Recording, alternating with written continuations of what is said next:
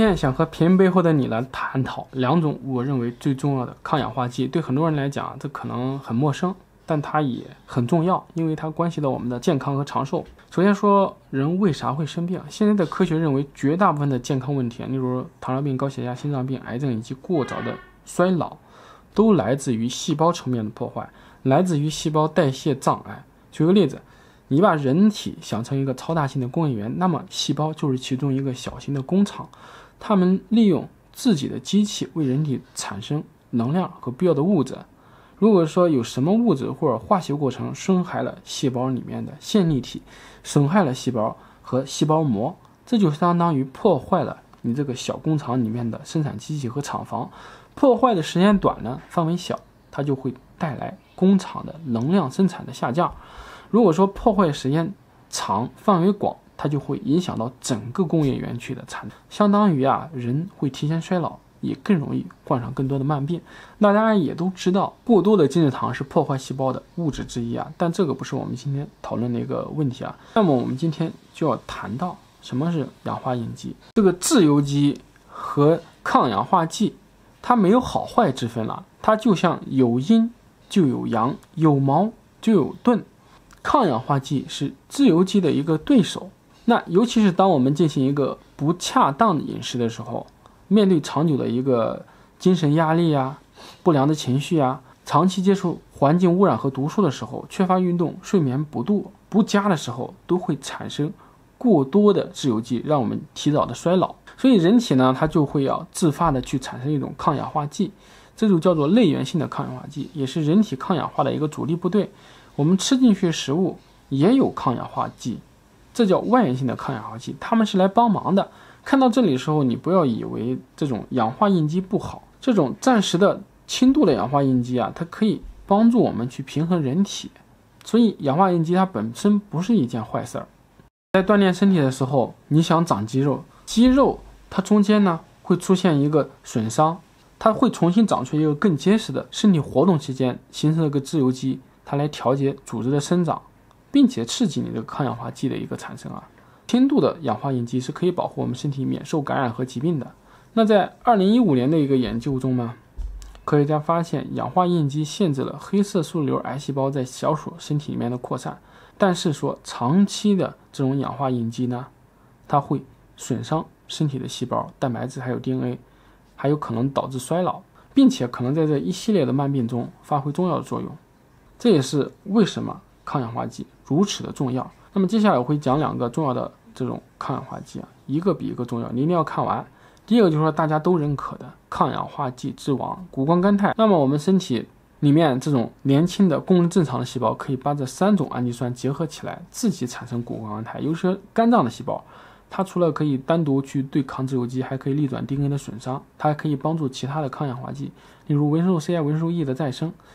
可以说他们是伙伴的关系。那除此之外呢？谷胱甘肽也是我们身体的一个解毒的分子，它可以中和病原体啊、环境毒素啊以及致癌的物质。它还能增强免疫系统，增强力量和耐力，并且鼓励身体啊形成的这种是肌肉而不是脂肪。但随着我们年龄增长，还有身体细胞不断的遭到破坏，谷胱甘肽的产生就会减少，而且人体衰老呢、慢性疾病啊、增加自由基啊、毒素、细菌、病毒啊。不断的去攻击人体，那我们对谷胱甘肽的需求反而会越来越高，那产生的供应呢就很难去满足，那你自己身体又造不出来这些东西，这就意味着这种慢病人群呢更需要这种物质。那怎么来增强人体产生谷胱甘肽的能力呢？首先你要多考虑吃这种富含硫元素的食物，比如说牛肉啊、鱼、家禽啊，以及这种芦笋啊，它们含有这种蛋氨酸。以及这种半甘氨酸，这两种氨基酸里面都富含硫元素。在植物里面呢，像西兰花呀、花椰菜啊、羽衣甘蓝呀、芦笋呐，也都含有丰富的硫元素。其次是吃富含维生素 C 的水果和蔬菜，是有助于恢复谷胱甘肽的活性形式。再就是增加这种富含硒的食物啊，富含甘酸的食物啊，也可以增加和维持身体里面谷胱甘肽的供应。还有一些植物的提取物啊。比如说这种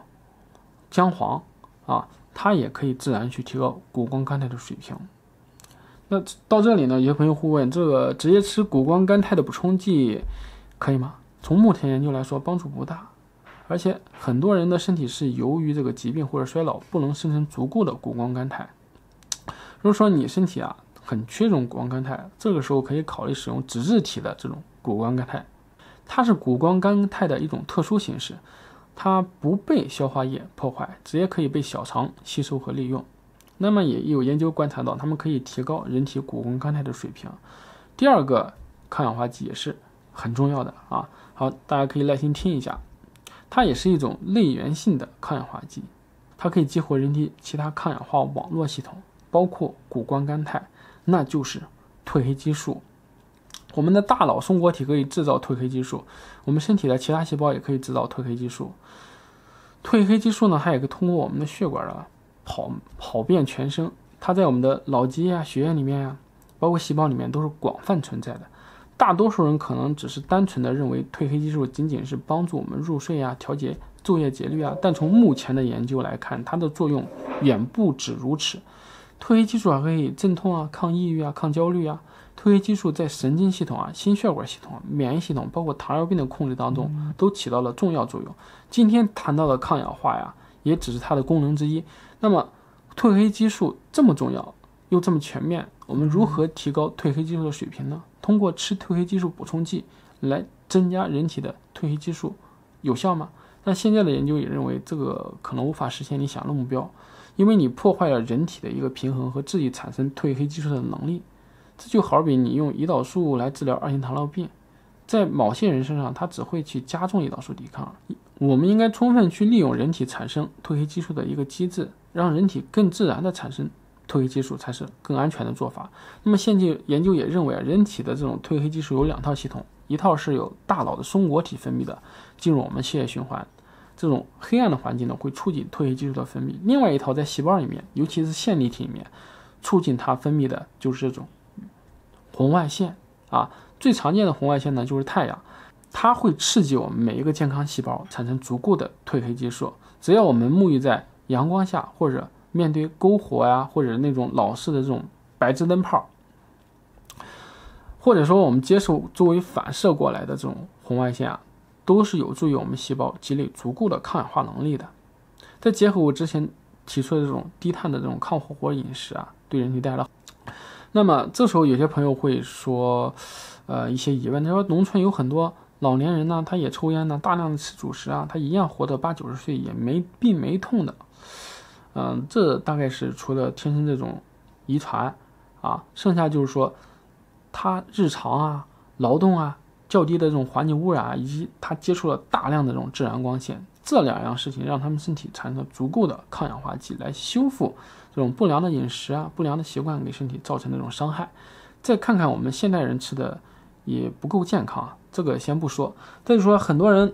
并不能获得一个充足的日晒，再就是说你回到家里面接受光线，也就是大量这种蓝光啊，我们很少接触这种近红外线，在远离了我们这些刻在基因里面应有的生活方式之后啊，我们可以换个角度来想啊，对今天内容做一个总结，某种程度上不是说科学发现了新的方法来让我们变得更加健康，而是说科学一步步看到。自然界和人体固有的这种能量、力量，这个过程呢，就有点像盲人摸象。好了，也欢迎大家留言讨论。这期视频就到这里结束了，我是特贵，我们下期见，拜拜。